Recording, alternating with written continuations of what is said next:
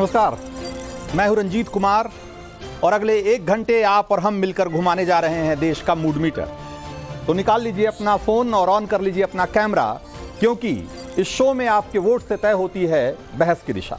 एक ऐसा शो है जिसमें देश के बड़े मुद्दे पर आप अपनी राय को बता सकते हैं और ठीक उसी वक्त उसी मुद्दे पर देश क्या सोच रहा है यह भी जान सकते हैं। एक ऐसा शो है जिसमें वोटिंग और रिज़ल्ट दोनों लाइव आज के मुद्दे पर आऊँ, उससे पहले ये जान लीजिए कि वोट करना कैसे है। बहुत तो बहुत आसान सा तरीका है।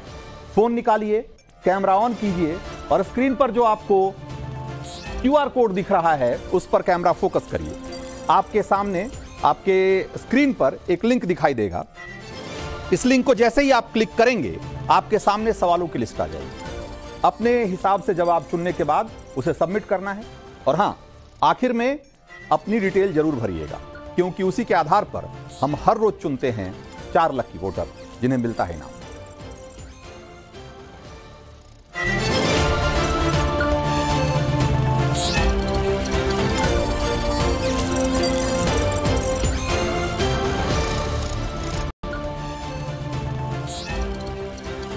तो क्यूआर कोड स्क्रीन पर आ चुका है और आप वोटिंग करना शुरू कर दीजिए और हम आते हैं अब आज के मुद्दे पर।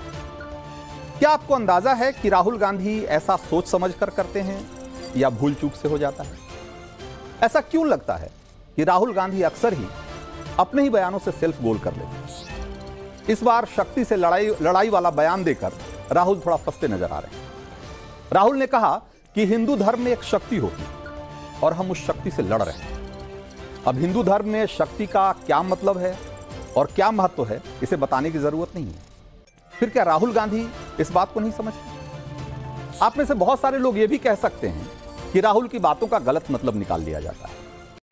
लेकिन यह भी तो सच है ना कि राहुल बीजेपी को ऐसे मौके बार बार देते रहे इससे पहले भी इस तरह के बयानों की एक लंबी फहरिस्त जब राहुल के बयान ने बीजेपी को बैठे बिठाए मुद्दा दे दिया। इस बार भी पीएम मोदी मौके से चूके नहीं। एक बार सुनिए, पीएम मोदी और राहुल गांधी ने आज क्या क्या कहा। उसके बाद कहानी को आगे बढ़ाते हैं। हिंदू धर्म में शक्ति शब्द होता है। हम शक्ति से लड़ रहे हैं। एक शक्ति से लड़ रहे हैं। अब सवाल उठता है, वो शक्ति क्या है? जैसे किसी ने यहाँ कहा, राजा की आत्मा ईवीएम में है। सही है? सही है। राजा की आत्मा।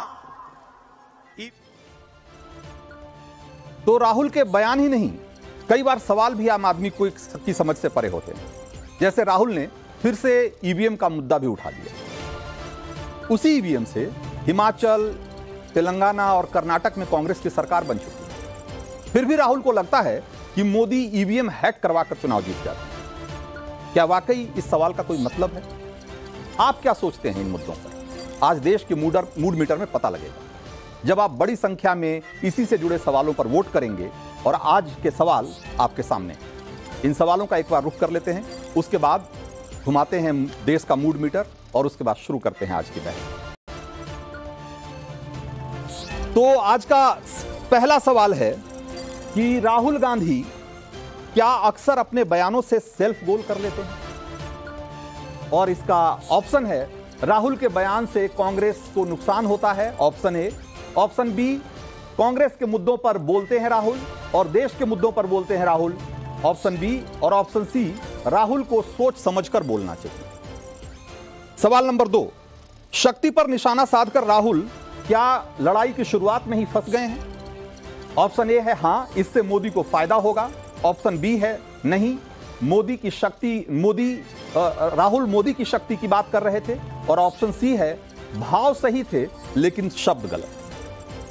सवाल नंबर तीन ईवीएम पर सवाल उठाकर राहुल क्या अपनी नाकामी छुपा रहे हैं? और ऑप्शन है, हाँ, हार से पहले ईवीएम का बहाना बना रहे हैं राहुल। ऑप्शन बी है, नहीं ईवीएम विश्वसनीय है, उस पर विश्वास किया जा सकता है। और सी है कि ईवीएम कोई मुद्दा ही नहीं। अब चौथा सवाल देख लेते हैं। चौथा सवाल है कि राहुल की न्याय यात्रा से अखिलेश केजरीवाल की दूरी क्या कहती है? ऑप्शन ए है, मजबूरी का है इंडी गठबंधन। ऑप्शन बी है, चुनाव से पहले नतीजों का अंदाज़ा। और ऑप्शन सी है, ज़रूरी काम की वजह से नहीं गए। दोनों नेता।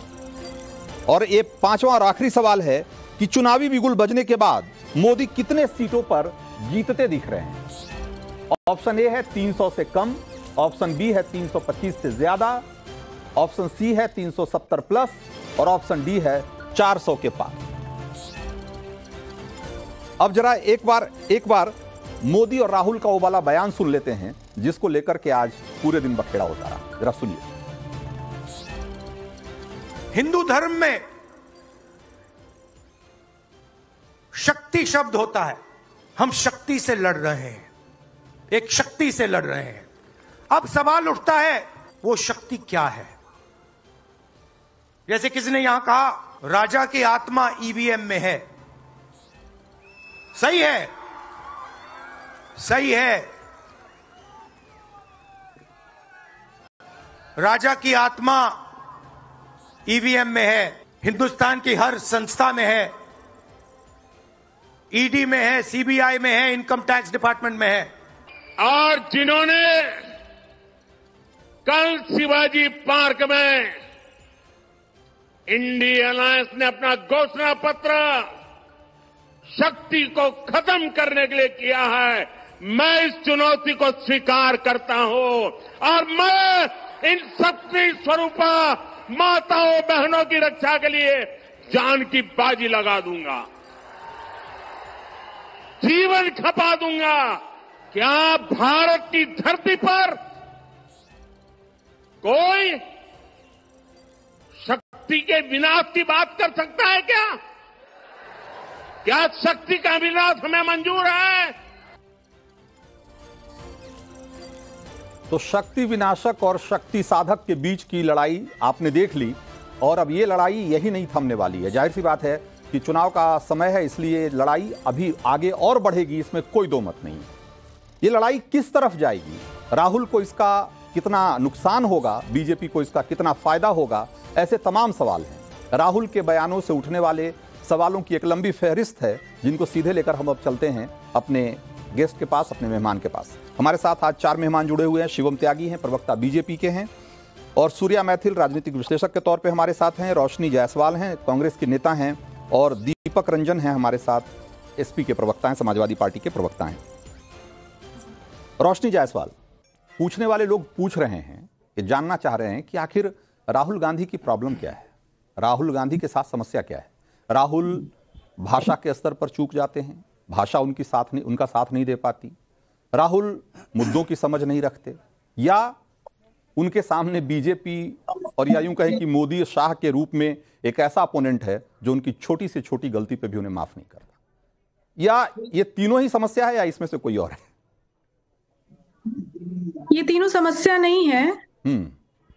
क्योंकि भारतीय जनता पार्टी ने राहुल जी की इमेज खराब करने के लिए करोड़ों अरबों रुपए खर्चे किए हैं। हम्म। और जितनी भी कोशिश कर ले हमारे नेता हज़ारों किलोमीटर का सफ़र तय करके लोगों के मुद्दों पे संघर्ष कर रहे हैं चाहे वो बेरोजगारी हो चाहे वो भुखमरी हो चाहे वो गरीबी हो किसी भी मुद्दे पे आवाज़ सिर्फ़ और सिर्फ़ हमारे नेता आदरणीय राहुल गांधी जी ही उठाते हैं। बेरोजगारी का इतना बड़ा मुद्दा है लेकिन अगर किसी भी भारतीय जनता पार्टी के नेता से बात कर ले बेरोजगारी पे तो वो जवाब नहीं देना चाहते हैं। वो राम मंदिर की बातें करने लगते हैं वो विश्वनाथ कॉरिडोर की बातें करने लगते हैं। विकास के नाम पे भारतीय जनता पार्टी का कोई भी नेता बात ही नहीं करना चाहता। और अगर अभी आपने चंडीगढ़ मेयर चुनाव में देखा हो किस तरह से कैसी बात कर रही हैं आप रोशनी जायसवाल? आप कह रहे हैं कि विकास के भाई प्रधानमंत्री मोदी की कोई ऐसी रैली नहीं होती जिसमें कि ज़्यादातर टाइम वो विकास के बारे में बात नहीं कर रहे होते। और आप कहते हैं कि भारतीय जनता पार्टी का कोई आदमी विकास पर बात नहीं करना चाहता। मैं सवाल कर रहा हूँ मैं सवाल कर रहा हूँ राहुल गांधी की। मैं सवाल कर रहा हूँ राहुल गांधी को लेकर। राहुल गांधी को लेकर सवाल कर रहा हूँ कि राहुल गांधी ऐसा क्यों है ऐसा क्यों है कि बार बार जब भी वो बयान देते हैं वो सेल्फ गोल करते नज़र आ रहे हैं। वो ऐसे मुद्दों ऐसी पिच पे चले जा रहे हैं जहाँ पर कि शायद उनको बॉल फेंकना नहीं आ रहा है।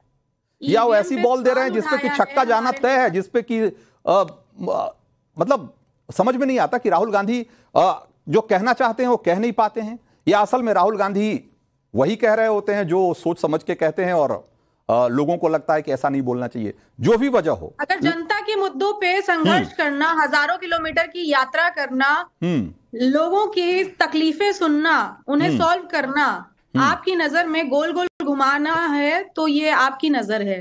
नहीं तो तो रोशनी जायसवाल अगर अगर अगर वाकई वाकई आपके नेता आपके नेता के मुद्दों से। लोग इतना इत्तेफाक रखते हैं तो कल इतना बड़ा मौका था तो विपक्ष के बाकी लोग क्यों नहीं पहुँचे? न वहाँ अखिलेश यादव दिखे न वहाँ तेजस्वी दिखे न वहाँ केजरीवाल दिखे। तो ऐसा क्यों है कि इतने बड़े मौके पे आपकी एकता नज़र नहीं आ रही? बड़े मौके पे आपने भीड़ देखी थी? किस तरीके से चकाचक पूरा आ, लोगों का एक हुजूम पहुँचा था इस हाँ। आ, ऐतिहासिक चीज़ को देखने के लिए और आप लोग भी देख के दंग रह गए होंगे लेकिन हम्म। इस बात की चर्चा नहीं हो रही है कि इतना अच्छा गया इतने लोग एकत्रित हुए ये नहीं हो ये बातें हो रही हैं कि ये नहीं आए वो नहीं आए अरे उनको हम्म। नहीं आए उनकी पर्सनल चॉइस है बहुत सारे जगहों पे हर इंसान फ्री नहीं होता है जाने के लिए हम्म। वो अपने किसी पर्सनल काम में बिज़ी होंगे लेकिन आप ये क्यों नहीं गए क्यों नहीं गए इसके बारे में इसका इसका जवाब समाजवादी पार्टी के नेता से भी ले लेंगे हम, लेकिन ग्यारह हज़ार दो सौ पैंतीस वोट आ चुके हैं। लोग बहुत तेज़ी से वोट कर रहे हैं, इसलिए ये ज़रूरी है कि एक बार उनकी राय का भी रायशुमारी जो हो रही है, एक बार उस पर भी नज़र डाल लें कि लोग क्या कह रहे हैं। जो पहला सवाल जो हमने पूछा था, जरा एक बार उसका जवाब देख लें एक बार उसका रुझान देखना चाहिए हमें, कि राहुल गांधी क्या अक्सर अपने बयानों से सेल्फ गोल कर लेते हैं। ये वो सवाल है जिसका जवाब हमने कांग्रेस की प्रवक्ता से लेना चाहा, लेकिन उन्होंने गोलमोल जवाब दिया अभी तक। लोग क्या कह रहे हैं? लोगों की राय क्या जरा देखिए। राहुल के बयान से कांग्रेस को हमेशा नुकसान होता है। ज़्यादातर लोग चौरासी, साढ़े चौरासी फ़ीसदी या यूँ कहें कि पचासी फ़ीसदी लोग मानते हैं कि राहुल अक्सर ऐसा बयान देते हैं जिससे कि उनको नुकसान होता है, उनकी पार्टी को नुकसान होता है। यानी कि सेल्फ गोल करते हैं। और राहुल को सोच समझकर बोलना चाहिए, करीब चौदह फ़ीसदी लोग मानते हैं। और राहुल, देश के मुद्दों पर बात करते हैं, ज़रूरी मुद्दों पर बात करते हैं, ऐसा मानने वालों की संख्या सिर्फ़ एक डेढ़ फ़ीसदी है। अब इसी से अंदाज़ा लगा लीजिए कि लोग क्या सोचते हैं। आप, रोशनी जायसवाल, आप आप अपनी राय रख सकती हैं प्रवक्ता के तौर पे या कांग्रेस के नेता के तौर पे, लेकिन लोग क्या सोचते हैं वो साफ़ साफ़ दिखाई दे रहा है। ज़्यादातर लोग मानते हैं कि राहुल सेल्फ गोल कर लेते हैं अपने बयानों से। रोशनी। उनके बयानों को अगर तोल मोल कर गोल गोल घुमा के दिखाया जाएगा तो वो ऑब्वियस सी बात है कि कुछ और ही समझेंगे लोग। लेकिन हमारे देश के प्रधानमंत्री जब बोलते हैं बेटी बचाओ बेटी पटाओ ये स्लिप ऑफ़ टंग होता है। जब आप भाषण देते हैं तो आपसे गलतियाँ हो जाती हैं छोटी मोटी लेकिन आपको उसको बढ़ा चढ़ा के करोड़ों अरबों रुपए जब खर्चा करते हैं शिवम त्यागी क्या वाकई ऐसा है कि राहुल गांधी की छोटी छोटी गलतियों को आप लोग इतना एम्पलीफाई कर देते हैं? इतना माहौल बना देते हैं आपका मीडिया फिर उसको इतना इतना हाँ इतना हाइप कर देता है कि राहुल संघर्ष राहुल फंस जाते हैं उसमें संघर्ष को न दिखा के उनके कि, से असली मुद्दों पे राहुल को घेरने की बजाय आप उनकी ऐसी छोटी मोटी गलतियों को जैसा कि रोशनी करें कि उनकी उनका स्लिप ऑफ़ टंग को जो है आप उसको ऐसा मुद्दा बना देते हैं कि लोगों को लगता है कि भाई देश में इससे बड़ा मुद्दा ही नहीं है कोई। रंजीत जी मैं एक चीज़ कहना चाहता हूँ स्लिप ऑफ़ टंग कहते हैं कि आपने जैसे शुरुआत में ही कहा रमन आई मीन रंजीत ये स्लिप ऑफ़ टंग है। मैं आपको रमन कह गया ये स्लिप ऑफ़ टंग है। मैंने पलट कर फिर से ठीक कर लिया। हिंदू धर्म में एक शब्द कहा गया है शक्ति। उस शक्ति को हमें कुचलना है। इसका अर्थ क्या है? अब किसी को अगर शक्ति का मतलब नहीं पता शक्ति वो है जो सब काम करती है शक्ति वो है जो सृष्टि की रचना व प्रलय करती है सृष्टि व अनंत रूपा है शक्ति व अनंत सामर्थ्य संपन्ना कही गई है और इस देश में शक्ति की पूजा होती है। शक्ति मतलब माँ दुर्गा शक्ति मतलब माँ काली शक्ति मतलब माँ सती। वो उनको आ, कुचलना चाहते हैं। शक्ति मतलब हमारे देश में माताएँ बहनें सब उनको शक्ति का रूप माना गया है। नवरात्र में देखा नहीं कि नवरात्र के बाद किस तरीके से बच्चियों के पैर जो है धुलते हैं? इस देश के सभी लोग तमाम जितने भी हिंदू धर्म के मानने वाले तो हैं। प्लीज़ बीच में प्लीज़ बीच में नहीं बोलना इनको थैंक यू अर्थ आप तो इनको आप इनको प्लीज़ बीच में मत रोक ये ये इनको कहिए ना। रंजीत जी मुझे बीच में नहीं बोलना। रंजीत जी हाँ, ठीक है, ठीक है, ठीक है। अब हाँ, अपनी बात विषय ये हाँ, है हाँ। इस देश में महिलाओं को माताओं को बहनों को शक्ति माना गया है हम्म। और वो इस देश की आधी आबादी को अप्रोक्सीमेटली सत्तर करोड़ महिलाओं को कुचलना चाहते हैं। वो कहते हैं हम ये बैकग्राउंड म्यूज़िक के लिए नहीं बुलाया आपको अपनी बात रखने के लिए बोला जब हाँ, समय था रोशनी जब आपको कहा जाएगा आपको प्लीज़ रोशनी क्या आप तरीका है भाई? शिवम को अपनी बात रखने बीच में हाँ। नहीं थैंक यू ये राहुल गांधी की तरह बात मत कीजिए प्लीज़ थैंक यू अब बड़ा इंपॉर्टेंट विषय यहाँ पर आप इनको रोकेंगे प्लीज़ अब बड़ा विषय यहाँ पर ये है हाँ। कि इस देश में जिस देश में वुमेन रिजर्वेशन बिल की बात होती है इस देश में जिस देश में महिलाओं को आगे बढ़ाने की बात करते हैं आदरणीय प्रधानमंत्री जिस देश में महिला सशक्तिकरण की बात होती है वहीं पर एक देश में राहुल गांधी आते हैं और कहते हैं कि मैं शक्तियों को शक्ति को कुचलना चाहता हूँ। हमारा मिशन शक्ति को कुचलना है। अगर आप शक्ति को कुचलना चाहते हैं कुचलिए। हम तो कहते हैं आने वाली चार तारीख को इस देश में शक्ति की पूजा करने वाले और शक्ति के कुचलने वालों का रिज़ल्ट जो है आ जाएगा। इस देश में जिस तरीके से राहुल गांधी लगातार ये इस तरह की भाषा का सनातन के खिलाफ बोलना सनातन धर्म के खिलाफ बोलना भगवान के खिलाफ बोलना माताओं बहनों के खिलाफ बोलना शक्ति के खिलाफ बोलना दुर्गा के माँ दुर्गा के खिलाफ बोलना इस तरह की बातें जब करेंगे तो माफ़ कीजिए ये बेरोजगारी पर बात नहीं आप इनको ये बीच में लगातार बोलने की क्या आप मुझे जी नहीं प्लीज़ आप इनको रोकेंगे दस सेकंड मुझे दस सेकंड और चाहिए मुझे दस सेकंड और चाहिए मुझे हाँ, दस सेकंड और चाहिए दस हाँ, सेकंड और चाहिए। हाँ। और एक और चीज़ इन्होंने कहा नहीं नहीं राहुल जी इतना लंबा यात्रा करके आए और वो बेरोजगारी की बात करते हैं। शक्ति की यात्रा शक्ति की बात करने में बेरोजगारी की बात कहाँ से आई बताइए जरा? शक्ति को कुचलने में बेरोजगारी की कहाँ विषय उठाया? शक्ति को खत्म करने में कहाँ बेरोजगारी का विषय उठाया? बेरोजगारी पर बात करनी है तो बेरोजगारी पर करिए ना सीधा। ये इधर घुमा घुमा कर उल्टी सीधी बातें करना कि हम तो बेरोजगारी पर बात करना चाहते हैं। करिए ना बेरोजगारी पर बात। देख लिया। आप शक्ति के बारे में अपने आप से नहीं बोल पाए। क्या इनका प्रॉब्लम क्या है? बीच में लगातार बोलने का कोई औचित्य नहीं है। problem, अपने नेता की तरह लगातार रैंट करना बंद कीजिए। जब विषय पर बोलने के लिए कहा जाए तो विषय पर बोलने ज़्यादा बेहतर है। तो विषय बहुत साफ़ है। आदरणीय तो प्रधानमंत्री जी ने आज साफ़ कहा है कि? माँ शक्ति के लिए इस देश की बहन बेटियों के लिए अगर मुझे अपनी जान भी देनी पड़े तो मैं तैयार हूँ इस चैलेंज को लेने के लिए तैयार हूँ। राहुल गांधी स्वीकार करें और आगे आए। जिस तरीके का उनका ये भाषण रहा है मैं एक चीज़ मानता हूँ उस व्यक्ति के सामने आप चाहे कितने भी लोग कितने भी नेता कितनी भी भीड़ खड़ा कर दो वो जब भी बोलेंगे इस देश के खिलाफ धर्म के खिलाफ सनातन के खिलाफ और पूरे हिंदुस्तान के खिलाफ ही बोलेंगे तो बिल्कुल, ये रोशनी, इस बात का जवाब तो आपको देना ही चाहिए कि जब भी ऐसा ऐसा क्यों होता है कि राहुल गांधी अक्सर बोलते बोलते कुछ ऐसा बोल जाते हैं, जिससे लगता है कि वो हिंदू विरोधी हैं, जिससे लगता है कि वो सनातन के विरोधी हैं। ऐसा क्यों लगता है? कभी वो राम की बात करते हैं तो कहते हैं कि भाई राम, जय श्री राम, जय श्री राम करते रहो और भूखे मरो। भाई भूखे मरने का राम श्री, जय श्री राम से क्या रिश्ता है? लोगों की बेरोजगारी का जय श्री राम से क्या रिश्ता है? करते हैं मुद्दा वो वो कहते हैं कि भाई बेरोजगारी जो हमारे शक्ति है उससे उससे कुचलना है उससे लड़ना है।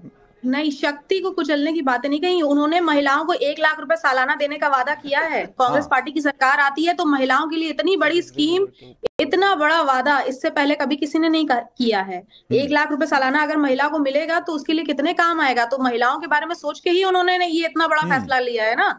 भारतीय जनता पार्टी सिर्फ़ जुमला देने का काम करती है। पंद्रह लाख रुपए अकाउंट में आने के हिंदू धर्म में किया गया था, अभी तक शक्ति का कॉन्सेप्ट है। और मुझे हिंदू धर्म को वही मैं वही बात में कह रहा मतलब था। क्या है? यही बात इस सवाल का जवाब देना मतलब चाहिए रोशनी है? कि हिंदू धर्म में शक्ति है ये बोलना क्यों? ज़रूरी था? वो कह सकते थे वो कह सकते थे कि भाई सरकार की एक शक्ति है है और उस शक्ति वो कह सकते थे कि भाई मतलब क्या है? कोई बुरी शक्ति है उससे लड़ना है वो ये कह सकते थे कि भाई मोदी सरकार की शक्ति है बहुत बड़ी बहुत खतरनाक शक्ति है हमको इससे लड़ना है हिंदू धर्म में एक शक्ति है और हमको उससे लड़ना है ये बोलने का क्या मतलब है? मैं इसीलिए पूछ रहा हूँ कि अगर उनको भाषा की दिक्कत है अगर वो भाषा नहीं समझते तो एक अलग सवाल है। अगर वो मुद्दों की समझ नहीं रखते तो भी एक अलग सवाल है।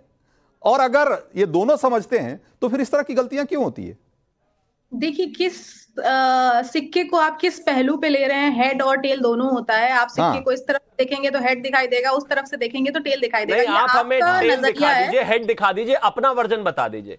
हिंदू धर्म में शक्ति का कॉन्सेप्ट है और हमें उस तो शक्ति को कुचलना है। सीधा सवाल है घुमाना आप फिराना नहीं है भाई। सीधा बताइए ना है उसको पढ़ लीजिए अच्छे से कि शक्ति की डेफिनेशन क्या है। उसके आप बाद में आपसे जवाब ना, सीधा इधर-उधर मत जाइए, शक्ति को कुचलना है। इधर उधर हाँ। मैं आपसे पहले यही प्रॉब्लम है जैसे जैसे नेता वैसे प्रवक्ता अब जरा जरा एक दूसरे दूसरे सवाल का जवाब भी ले लेते हैं। दूसरे सवाल का भी का रुझान देख लेते हैं।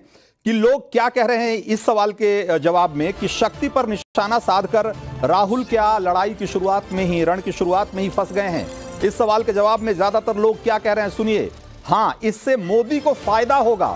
बिल्कुल राहुल गांधी फंस गए हैं, ऐसा मानने वाले लोग बानवे फ़ीसदी लोग हैं। ज़्यादातर लोग ये मानते हैं कि राहुल ने एक तरीके से इससे मोदी को एक एज दे दिया है, उनको फ़ायदा होगा।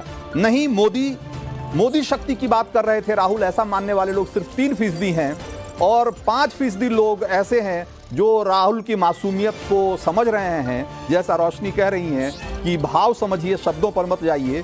तो भाव सही थे, लेकिन शब्द गलत थे, ऐसा मानने वाले लोग सिर्फ़ पाँच फ़ीसदी है। लेकिन पाँच फ़ीसदी से या पाँच परसेंट लोगों से राहुल का काम कम से कम इस चुनाव में तो नहीं चलने वाला है, ये बात तो तय है। अब सवाल यह है कि अगर राहुल इस तरह से सेल्फ गोल करते रहेंगे तो इस चुनाव का नतीजा क्या होगा? इन सारे सवालों पर भी हम बात करेंगे और इस जो सवाल हमने किया है उस पर आप क्या सोचते हैं वो भी हम समझने की कोशिश करेंगे। लेकिन एक बार जरा दीपक रंजन के पास चलते हैं जो कि समाजवादी पार्टी के प्रवक्ता हैं। दीपक रंजन इतना बड़ा मौका था। पहले तो कहा गया कि अखिलेश यादव की तबीयत नासाज है अच्छी तबीयत नहीं है इसलिए नहीं जा पाए। फिर अ, फिर बाकायदा स्टेटमेंट आ गया कि वो चुनाव के काम में बिज़ी हैं। भाई इससे बड़ा मौका और क्या हो सकता था चुनावी एकता दिखाने का? ये दिखाने का कि भाई विपक्ष इतना गोलबंद है इतनी ताकत के साथ मोदी के सामने खड़ा है कि एकदम इस बार धूल चटा देगा या पता नहीं क्या भी कह सकते थे आप। लेकिन आप तो वो मौका चूक गए। अखिलेश वहाँ पहुँचे ही नहीं। देखिए देखिए रंजीत जी। हाँ। रंजीत जी अभी आपने तेजस्वी यादव जी का भी नाम कि तेजस्वी यादव जी भी इस मीटिंग में आते हैं। तेजस्वी यादव पहुँचे थे। तेजस्वी शायद आपने देखा नहीं हाँ। होगा या आपने तेजस हाँ हाँ तो ये मैं पूछ रहा हूँ मैं तो अखिलेश की बात कर रहा दर्शक मैं अखिलेश यादव की बात आप गुमराह करेंगे इस तरीके से बताएँगे। मैं अखिलेश यादव अरे देखिए जो चीज़ है पहले आप, मैं आप अगर अरे रंजीत जी अगर आपने कुछ गलत बोला तो क्या मैं आपको सही भी नहीं कर सकता? मैंने मैंने कहा तो कि मैंने क्योंकि मैंने, आप मैंने कब गलती से उतना कह दिया सकता था है देख करके बहुत से दर्शक निकल गए उसका क्या मतलब है? अरे तो हो सक हो सकता है कि तेजस्वी जी वाली बात सुन करके बहुत से दर्शक अभी क्विट करके और निकल के नहीं देख पाओ। तो वो तो बात लोगों के जहन में आ रहा है कि ना हाँ, कि तेजस्वी है, आपने- आपने- आपने तो मैं आपको ये क्लियर करना चाह हूँ तेजस्वी जी बहुत अच्छा, आप हाँ।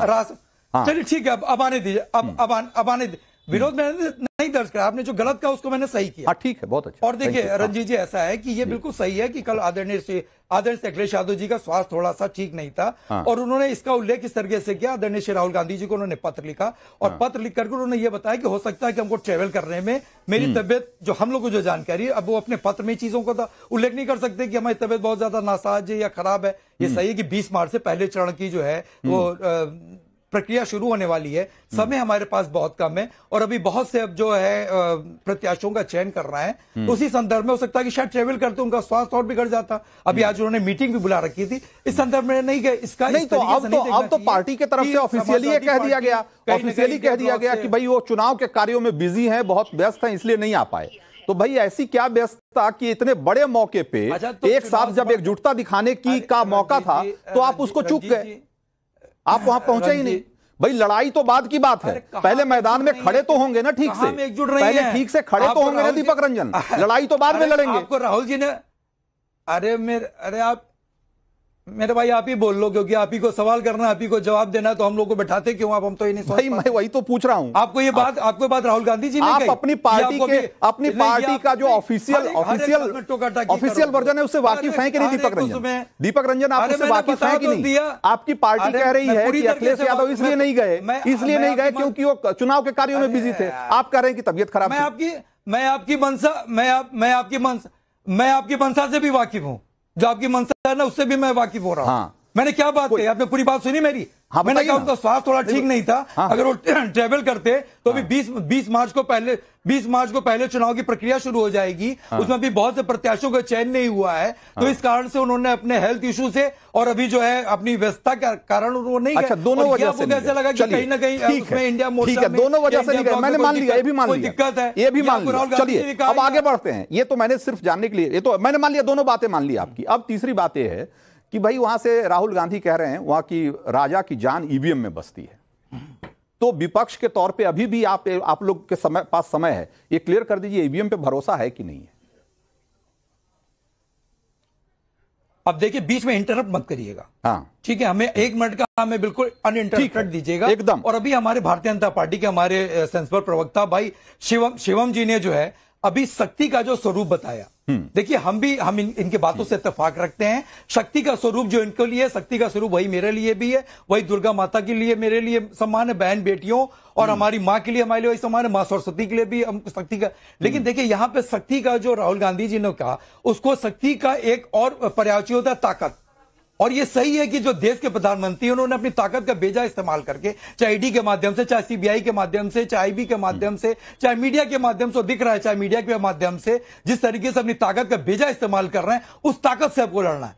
आप ये मानते कि नहीं मानते कि शक्ति का एक पर्यावरण ईवीएम का ईवीएम के सवाल का जवाब दीजिए ना। लोग ताकत शक्ति वाली बात हमने कांग्रेस के नेता से पूछ ली। देखिए मैं ईवीएम वाली बात देखिए- पर आइए। देखिए देखिए देखिए रंजीत जी रंजीत जी मैं ईवीएम पे नहीं जाना चाहता क्योंकि इलेक्शन कमीशन में अब डेट्स आ चुके हैं अनाउंस हो चुके हैं अब ईवीएम को कह, मैं ये ज़रूर कहना चाहता हूँ कि जब आप एक पचास रुपए का या हाँ। दस रुपए की आप पेंसिल खरीदते हो उसको आपको रिसिप्ट मिलती है और पाँच साल की आप सरकार चुने जाते हैं तो हाँ। अब वीवीपैट को आप कंपलसरी क्यों नहीं कर देते सात सेकंड के अंदर अंदर वो पर्ची आप देख भी नहीं पाते हो पर्ची गिर जाती है मेरा यह कहने का मतलब है कि आप वीवीपैट को हर पोलिंग स्टेशन पे हर हाँ। पोलिंग बूथ पे आप उसको कंपलसरी कर दें क्योंकि जो पाँच साल की सरकार देश और देश की दशा और दिशा तय करने के लिए चुनाव नेता चुनने जा रहा है सरकार बनाने जा रहा है तो कम से कम उसको इतना अधिकार तो होना चाहिए कि कम से कम उसको वीवीपैट मशीन से जो पर्ची गिरे वो उसके हाथ में आए वो देख ले कंफर्म हो जाए वो अपने हाथ से उसको बॉक्स में डाल दे।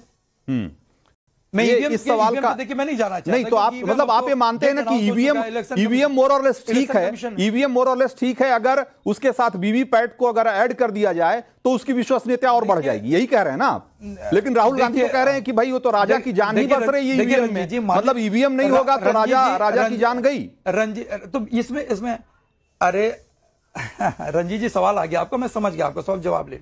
देखिए ईवीएम तभी हटेगा जब इंडिया ब्लॉक की 2024 में सरकार बनेगी। हाँ। और निश्चित रूप से 2024 में सरकार बनेगी जिस तरीके से जितने भी डेवलप्ड कंट्रीज़ हैं। आखिर वो ईवीएम से चुनाव क्यों नहीं कराते? आप एग्जांपल लेते हो डेवलप्ड कंट्रीज़ का वन नेशन सरकार की आप सरकार बनेगी क्या? सरकार बनेगी क्या? शिवम त्यागी अदर कंट्रीज़ शिवम त्यागी सरकार बनेगी क्या? अभी दो दिन पहले अभी अभी दो दिन अगर मगर से आप नहीं देखिए मुझे जवाब देने दीजिए रंजीत जी। हाँ, अभी मुझे अभी दो दिन पहले सुप्रीम कोर्ट ने सारी याचिकाओं पर पूर्ण विराम लगाते हुए ईवीएम के संबंध में जितने भी केसेस थे वो सब खारिज कर दिए। हाँ। अब समझ में नहीं आता हार सामने दिख रही है राइटिंग ऑन द वॉल है तो ईवीएम में ये दिक्कत है। राजा की जान ईवीएम में रे जाओ ना सुप्रीम कोर्ट। दो दिन पहले इतना सुप्रीम कोर्ट सुप्रीम कोर्ट चीख चिल्ला रहे थे इतनी तारीफें सुप्रीम कोर्ट की कर रहे थे। उसी सुप्रीम कोर्ट ने कहा है और माना है कि ईवीएम में कोई परेशानी कोई दिक्कत नहीं है। वहाँ पर कोई भी किसी तरह की टेम्परिंग नहीं हो सकती। अब कल कोई कैलकुलेटर लाकर जो है समाजवादी के प्रवक्ता कहने लगे ये देखिए मैंने ईवीएम को कैसे हैक कर लिया या कोई मशीन अपने सामने रख के जब टेस्ट हुआ था ईवीएम के ऊपर कितने लोग पहुँचे थे भाई? वहाँ पर अपने आप को साबित करने के लिए एक भी नहीं। या एक भी पार्टी नहीं। आज सुप्रीम। कोर्ट ने बोल और यही सवाल यही सवाल जो हमने आप दोनों से किया। इसी सवाल को हमने जनता से भी पूछा है इसी सवाल को हमने जनता से भी पूछा है और लोगों की राय क्या है क्या कह रहे हैं लोग? ईवीएम पर सवाल उठाकर राहुल क्या अपनी नाकामी छिपा रहे हैं? चुनाव से पहले क्या कह रहे हैं लोग? बानवे फ़ीसदी लोग कहते हैं कि हाँ हार से पहले ईवीएम का बहाना है। नहीं कहने वाले लोगों की संख्या आप जरा देखिए, दो फ़ीसदी से भी कम है। दो फ़ीसदी से भी कम लोग मानते हैं कि नहीं ईवीएम विश्वसनीय नहीं है। मतलब ईवीएम खराब चीज़ है, ऐसा मानने वाले लोग सिर्फ़ दो फ़ीसदी भी नहीं है। और ईवीएम कोई मुद्दा ही नहीं है कि ये अच्छा है, खराब है, ऐसा कोई मुद्दा ही नहीं है मानने वाले लोग छह फ़ीसदी हैं। लेकिन ज़्यादातर लोग ये मानते हैं कि बानवे फ़ीसदी लोग कि भाई ईवीएम एक तरीके से अपनी हार को छिपाने या चुनाव से पहले अपनी हार छुपाने का एक तरीके से बहाना ढूंढ रहे हैं राहुल गांधी।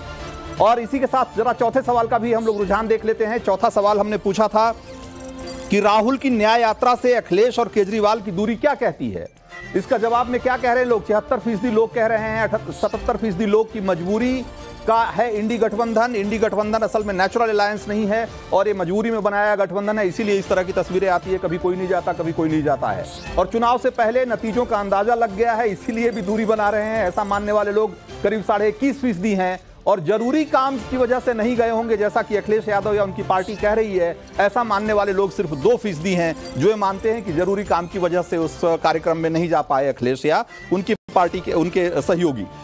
सो एक बार सूर्या मैथिल का भी रुख कर लेते हैं। सूर्या मैथिल सवाल यही है कि राहुल गांधी जब भी आ, सब अपनी ऐसी कोई सभा में जाते हैं, अक्सर वो कोई ऐसा बयान दे देते हैं जिससे कि ऐसा लगता है कि वो सनातन विरोधी हैं, या हिंदू धर्म के प्रति उनकी आस्था में कोई कमी है। कभी राम का मामला है, कभी शक्ति का मामला है। तो आखिर ऐसा क्यों है कि राहुल गांधी मतलब ये बार बार ये जनमानस को समझने में नाकाम रहते हैं कि इस देश का जनमानस क्या सोचता है और कैसे सोचता है? क्या ये राहुल गांधी मुद्दों की समझ रखने में नाकाम रहे धन्यवाद रंजीत जी। पहले तो आपको और पूरे देश को भारत माता की जय, वंदे मातरम। और मुझे वो चार लाइनें याद आती हैं कि इनके पैरों के नीचे ज़मीन नहीं और कमाल ये है कि इनको फिर भी यकीन नहीं। लगातार कांग्रेस रसातल में चलती चली जा रही है लेकिन बार बार बार बार वही गलतियाँ राहुल गांधी जी कर रहे हैं या उनसे करवाई जा रही हैं ये सोचने का विषय है।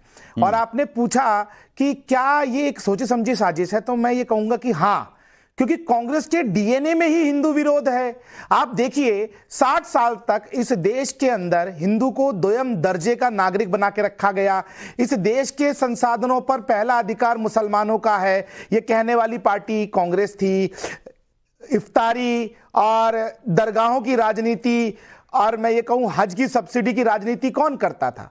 कांग्रेस ही नहीं तो की है। 2014 के बाद से जब सबका साथ सबका विकास सबका विश्वास और सबका प्रयास इस नारे के साथ माननीय प्रधानमंत्री जी ने देश के सभी वर्ग और सभी धर्मों को साथ लेके चलना शुरू किया।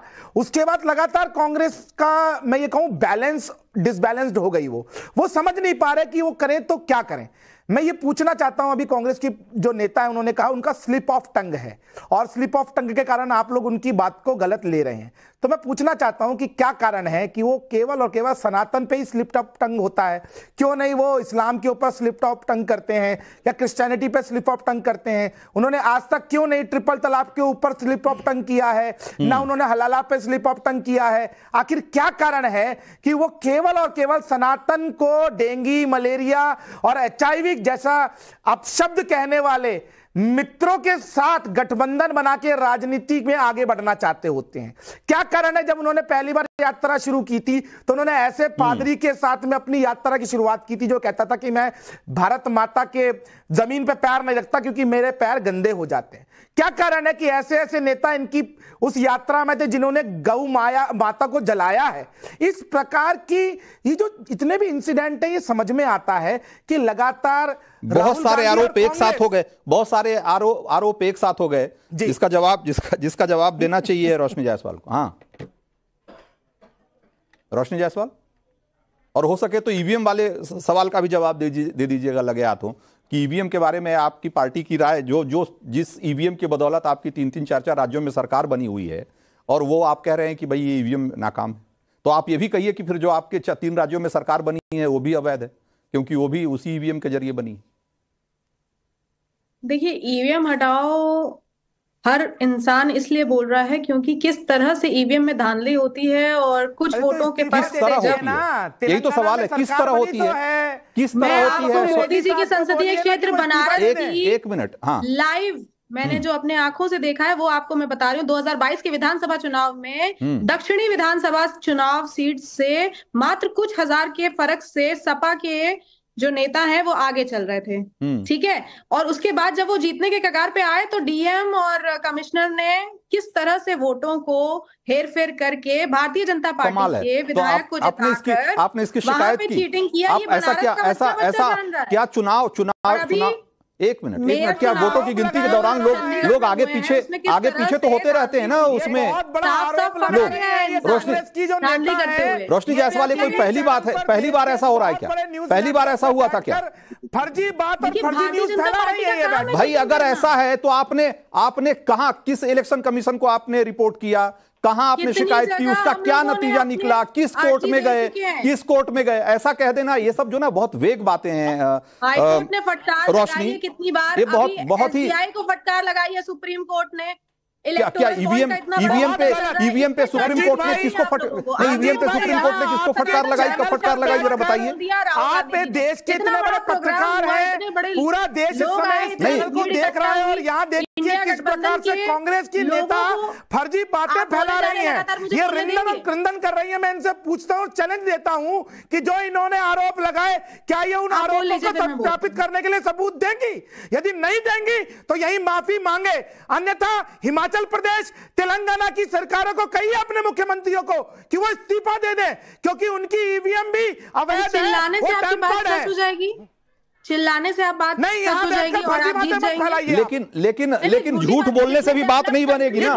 झूठ बोलने से भी तो बात नहीं बनेगी गलत बयानी करने से भी बात नहीं बनेगी ना। यहाँ पर आप। रोशनी रोशनी गलत बयानी करके भी बात नहीं बननी। वो लोग डेवलप develop यहाँ पर या तो आरोप मत लगाओ आरोप लगाने हैं तो सबूत भी दो। ये पप्पू की तरह नहीं कि कुछ भी बोल दोगे और फिर भाग जाओगे। ये बात नहीं पता है क्या आपको? चोर की दाढ़ी में अभी तिनका तेलंगाना में आपकी सरकार बनी कि नहीं बनी? बस यही बात प्रदेश में बनी? की दाढ़ी आपने में इस्तीफा देना चाहिए ना फिर? जैसे ही राहुल गांधी बात बायनार तो से ईवीएम के क्यों माध्यम से ही बौखला चुन के आए थे ना? की बात तो क्यों नहीं राहुल गांधी ने इस्तीफा दे दिया? यदि ईवीएम में परेशानी है। जैसे डेवलप कंट्रीज़ में बैन है वैसे इंडिया में भी बैन होना चाहिए। हमारे तो यही तो कोर्ट है। जाइए ना। और कोई आप सुप्रीम कोर्ट से बड़े हैं क्या? सुप्रीम कोर्ट सुप्रीम ने जब ईवीएम के ऊपर जितनी भी रिट थी उनको? खारिज कर दिया तो आप किस कर रहे हैं अधिकार से इस प्रकार की बात कर रहे हैं जरा बताइए अच्छा आप आपकी सुप्रीम कोर्ट से आवाज़ थोड़ी ज़्यादा लाउड है मुझे लग रहा है कि आप तमीज नहीं नहीं, सीख पाए हैं अपने घर पे क्या बात है? तो पूछ रहा तमीज सुप्रीम नहीं नहीं कोर्ट से बड़ी आपको नहीं आती है वो थोड़ा ऊँचा ऊँचा बोल रहे हैं ऊँचा बोल रहे हैं रोशनी और कोई बात नहीं है आवाज़ उतनी ही है सबकी लेकिन नहीं। रोशनी आपको इस बात का जवाब देना चाहिए रोशनी। बहुत सीरियस नोट में बोल रहा हूँ। आपको इस बात का जवाब देना चाहिए कि आपने जो ईवीएम के बारे में कहा क्या सुप्रीम कोर्ट ने कब कहा कि ये ईवीएम खराब खराब है और ईवीएम एंकर विश्वसनीय चीज़ नहीं है? पूछना चाहूँगी। रंजीत कुमार जी आपने बोला है कि इन्होंने तेज आवाज़ में जिस तरीके से बात की है वो सही नहीं है। आपकी बात मैं समझ रही हूँ। लेकिन इनको कहिए कि आप अपने घर से पहले तमीज से सीख के आए उसके बाद शक्ति की बातें करेंगी। है तो तमीज- ठीक है, तमीज वाली बात- अन्यथा माफ़ी हाँ। मांगिए यहाँ पर बैठकर आप। हाँ रोशनी आपने जो कहा इस बात को आपको जस्टिफाई करना चाहिए कि क्या आपने जो कहा इसके सामने। इसका आधार क्या है? बताइए आधार क्योंकि क्या आप ऐसे गुमराह नहीं कर सकते ना लोगों को। पहले आप माफ़ी मांगिए। शक्ति की बातें हो रही है यहाँ पे और महिला इतने पूरे पैनल में मेरी एक बहन महिला मैं आपसे पूछ रहा हूँ कि आप मुझे इतना बताइए आपने कहा कि ईवीएम में धांधली हुई डीएम और एसपी ने आकर वहाँ पर फेरबदल कर दिया जालसाजी कर दी। आपके पास क्या है आरोपों शिवम शिवम त्यागी भी शिवम त्यागी कुछ कहना चाह रहे हैं। हाँ शिवम आप आप भी अपनी बात रखिए इसमें। देखिए मैं एक ही चीज़ कहना चाहता हूँ कि एक एवरेज कांग्रेसी को समझाने से बेहतर है कि कोई जो बच्चा फ़र्स्ट में पढ़ता हो आप उसको समझा लें। और एक एवरेज कांग्रेसी को किसी का किसी चीज़ का मतलब बताने से बेहतर है कि आप किसी फ़र्स्ट के बच्चे को मैथ्स पढ़ा लें वो बेहतर समझ जाएगा। अभी महिला महिला कर कर महिला कार्ड खेल रही थी अब आपको समझ में नहीं आ रहा है कि बीच में नहीं बोलना है? अब आपको समझ में नहीं आ रहा है कि बीच में नहीं बोलना है? रंजीत जी इनको बंद कराइए प्लीज़ चुप कराइए आप इनको। अब इनको समझ में नहीं आ रहा है कैसे बात करनी होती है। एक पैनल पर बैठकर बात करने की है, तमीज नहीं है तो फिर इसमें क्या ठीक है मर्यादा मर्यादा रखनी चाहिए बातचीत में बातचीत में मर्यादा रखनी चाहिए हाँ लेकिन इनको रोकिए ये क्या हाँ। तरीका है? दूसरा ये सूर्य मैथिल की आवाज़ अगर तेज आप इनको प्लीज़ रोकिए ना प्लीज़ मैं आप नर्सरी तक पढ़े हैं? आप इनको प्लीज़ रोकिए जरा ये क्या है? और दूसरा? ये सूर्य मैथिल की आवाज़ हाँ। इनको तेज इतनी बुरी लग गई एक महिला को इस देश में शक्ति कहा जाता है। इन्हीं का नेता इन्हीं को बैठकर जो है कहता है कि मैं शक्ति को कुचलना चाहता हूँ। यानी कि वो सीधा सीधा उनके जो कार्यकर्ता है महिला उनको कुचलने की बात कर रहा है वो बुरा नहीं लगा। राहुल गांधी से कहिए कि माफ़ी मांगे। आप भी तो शक्ति है वो आप ही को कुचलने की बात कर रहे हैं आपके नेता। इनको कुछ पता ही नहीं है कुछ भी बोलने जा रही है बैठकर कृपया करके मैं सिर्फ़ एक ही चीज़ कहना चाहता हूँ। और अपने बारे दूसरी में बात चर्चा आप इनको प्लीज़ रोकिए रंजीत जी क्या है? ये बैकग्राउंड म्यूज़िक देने आई है। स्टॉप रैंटिंग ये सोशल मीडिया नहीं है। मैं अब मैं पाँचवें मैं मैं इस बहस से थोड़ा सा। समय निकाल के जरा। पाँचवें सवाल का रुझान देख लेते हैं। पांचवा सवाल जो हमने पूछा था जैसा कि हमने आपको बताया कि हमारा पांचवा सवाल था कि चुनावी बिगुल बजने के बाद अब मोदी कितनी सीटों पर जीतते दिखाई दे रहे हैं। और इस शक्ति वाले कांड के बाद क्या बीजेपी की स्थिति दिख रही है? इसके बारे में लोग क्या सोचते हैं? जरा देखिए जरा लोगों की राय। 300 से कम, ऐसा मानने वाले लोगों की संख्या दो फ़ीसदी से भी कम है। 325 से ज़्यादा, साढ़े सात फ़ीसदी लोग मानते हैं कि सवा तीन सौ सीट से ज़्यादा बीजेपी जीते, जीतेगी। और 370 से ज़्यादा मानने वाले लोगों की संख्या उनचालीस फ़ीसदी है, करीब और 400 के पार, करीब 50 फ़ीसदी लोग मानते हैं, इक्यावन फ़ीसदी लोग मानते हैं कि 400 से ज़्यादा सीटें जीतेंगी बीजेपी। ये है आम लोगों की राय जो हमारा चैनल देख रहे हैं। इस समय जो हमारे दर्शक, उसमें से लोगों की राय है, वो कह रहे हैं कि 400 के पार बीजेपी जाएगी। और ये जो सवाल बार बार उठता है कि बीजेपी अपने लिए जितना प्रचार कर रही है, वो तो कर ही रही है, जितनी मेहनत कर रही है, वो कर ही रही है। राहुल गांधी अपने बयानों से भी बीजेपी को मदद पहुँचा देते हैं कई बार, ऐसा लगता है। और इस सवाल के जवाब में लोगों को हमने बताया कि लोग जब हमने आपको पहले भी बताया था कि लोग क्या सोचते हैं ये भी हमने बताया था हम शो के आखिर में एक बार फिर से आपको दिखाएँगे कि इसमें जो आखिरी वोटिंग हुई है उसके नतीजे क्या कहते हैं लोग इन सवालों के जवाब में क्या कह रहे हैं। अ, एक बार फिर से दीपक रंजन का के पास चलते हैं। दीपक रंजन ईवीएम वाला सवाल जो है वो अधूरा रह गया था आपने वीवीपैट की बात कह के खत्म कर दी थी। अब दूसरा सवाल ये है कि राहुल गांधी जिस तरह के मुद्दे अपने पूरे आ, इस यात्रा न्याय यात्रा के दौरान उठाते रहे। क्या उसमें नहीं उससे आप इत्तेफाक रखते हैं कि जब राहुल गांधी कहते हैं कि ओबीसी की जब बात उठाते हैं तो एक ऐसी पार्टी जिसका प्रधानमंत्री ओबीसी है जिसमें जिसके मंत्रिमंडल से लेकर के और सभी स्तर पे ओबीसी की इतनी बड़ी हिस्सेदारी है इतनी बड़ी भागीदारी है ऐसे में ओबीसी वाला सवाल उठा करके क्या राहुल गांधी मतलब एक तरीके से कमज़ोर मुद्दे पे कमज़ोर पिच पे नहीं खेलते दिखते आपको? Ranjit ji I want to make one request मैं एक रिक्वेस्ट आपसे करना चाहता हूँ कि मेरे रिक्वेस्ट पे आप एक सवाल उसमें ऐड कर दीजिए कि क्या वीवीपैट मशीन जो है पूरे हिंदुस्तान में सारे बूथ पे सारे पोलिंग स्टेशन पे कंपलसरी होना चाहिए या नहीं होना चाहिए? ठीक है। छोड़िए मैं अगली अगला पोल जो लूँगा अगला पोल जो लूँगा उसमें ज़रूर ऐड लेकिन वीवीपैट हाँ। जी जी जी जी। अच्छा अभी हमारे मैथ्यू भाई जो है पॉलिटिकल एनालिस्ट हैं और मैं इनकी किसी टिप्पणी पे मैं टिप्पणी नहीं करना चाहता। इन्होंने सबकी बातें बताई कि किसने धर्म को लेकर के क्या कहा किसने क्या नहीं कहा। लेकिन आज वर्तमान के राज्यसभा सदस्य और उस टाइम उत्तर प्रदेश के डिप्टी सीएम आदरणीय श्री दिनेश शर्मा जी ने सीता माँ को क्या कहा था? टेस्ट ट्यूब पे कहा था कि नहीं कहा था? आज नरेश अग्रवाल जी, जी जिनके बेटे जो है आज की तारीख में उत्तर प्रदेश सरकार मंत्री हैं उन्होंने सदन में कैसी भाषा का इस्तेमाल किया था? हमने तो उनको निकाल करके पार्टी से बाहर कर दिया। भारतीय जनता पार्टी की ऐसी क्या मजबूरी है? आदरणीय ओम प्रकाश राजभर जी ने क्या क्या नहीं कहा था? तो पहले कार्रवाई कर रहे हैं भाई आपकी तो इतनी बड़ी आप विश्व गुरु कहते हैं अपने आप को इतनी बड़ी पार्टी कहते हैं अपने आप को ऐसी क्या मजबूरी हो गई कि ओम प्रकाश राजभर जी के घटक दल के में काम सेकंड में जवाब सवाल सारा होना है क्योंकि समय कम है। शिवम त्यागी हाँ। थैंक यू मैं एक ही चीज़ कहना चाहता हूँ हम मैं दे- विश्व गुरु मैं दे देश समाजवादी को कहना चाहता हूँ कि हम मैं बता विश्व गुरु रहा हूँ, देश को कहते हैं देश को बनाना चाहते हैं पार्टी को विश्वगुरु नहीं बनाना चाहते कुछ भी बोलते रहते हैं। दूसरा एक और चीज़ जहाँ तक इन्होंने तमाम बयानों की बात कही मैं कहता हूँ भारतीय जनता पार्टी का आधिकारिक प्रवक्ता होने के नाते ये कहना चाहता हूँ कि जो भी नेता इस तरह की बातें करता है हम उससे बिल्कुल इत्तेफाक नहीं रखते हम उसको कंडेम करते हैं बिल्कुल गलत। लेकिन और जब इस तरह की भाषा का इस्तेमाल राहुल गांधी बैठकर कर रहे हैं आपकी जबान से एक शब्द नहीं निकल रहा। आप सिर्फ़ इतना नहीं कह सकते कि राहुल गांधी जी ने कहा वो गलत कहा तो हम अभी अपने स्क्रीन पे नतीजे दिखा रहे हैं पाँचों सवाल जो हमने आपसे पूछे थे उन सारे सवालों के जवाब में आपने क्या कहा है जिन लोगों ने वोट किया है उनमें से ज़्यादातर लोग क्या मानते हैं इन सवालों के जवाब में वो क्या कह रहे हैं हम अपने स्क्रीन पर दिखा रहे हैं। और इसके साथ ही हम आपको अब दिखाएँगे अब बारी है आज के लकी वोटर्स का नाम अनाउंस करने का। और साथ ही हम शुक्रवार को की तारीख पे शुक्रवार को आ, हमारे शो शो में एक बड़ी खबर आने की वजह से हम लकी वोटर का नाम नहीं अनाउंस कर पाए थे उनका नाम भी हम आज बताएँगे। तो सबसे पहले आज के लकी वोटर कौन कौन है जरा उनका नाम एक बार दिखा देते हैं। आ, तो आज के लकी वोटर हैं हृदयेश हैं उत्तर प्रदेश से और योगिता वर्मा हैं दिल्ली से। उनके मोबाइल का आखिरी चार डिजिट हम आपको स्क्रीन पर दिखा रहे हैं। और उसी तरीके से अगले दो लकी वोटर हैं देव शंकर शर्मा वो बिहार से हैं और रक्षाबेन पटेल गुजरात की हैं। और इनके भी मोबाइल का आखिरी चार डिजिट आप देख सकते हैं स्क्रीन पे। तो ये हैं आज के लकी वोटर। लेकिन जैसा कि हमने बताया कि शुक्रवार को भी हम एक बड़ी खबर की वजह से आखिर में लकी वोटर का नाम अनाउंस नहीं कर पाए थे।